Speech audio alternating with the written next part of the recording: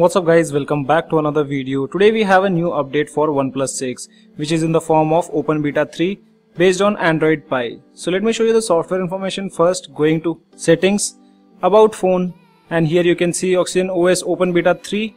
Android version is Android 9 with a security patch of 5th September 2018.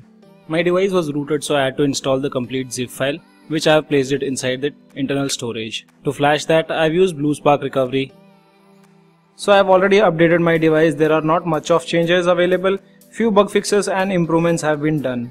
Directly moving on to the change logs, so these are the change logs related to system, parallel app and OnePlus switch. Under system, first one is fixed stability issues with the ambient display.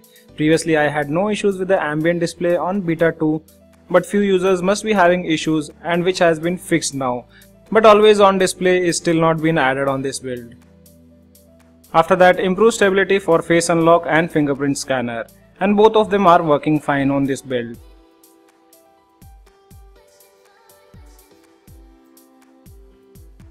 And there is no delay with the fingerprint sensor and face unlock. After that added support to launch Google Assistant or third party assistant app by holding power button. So that can be found here in the settings, going to buttons and gestures and you get a new option quick activate the assistant app which says hold power button for 0.5 seconds to activate the assistant app. So let's try that. I have already enabled it. And here you can see Google Assistant pops up. So 0.5 seconds to launch assistant app and 3 seconds for the power menu. And the next update is related to Parallel app which says added support for more applications like Telegram, Discord, Uber, Ola in the Parallel app section.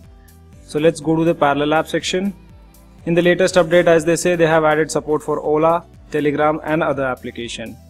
And the next changelog is related to OnePlus Switch application which has been upgraded to version 2.1 under which it says added manual connection method if you are unable to connect switch with QR code.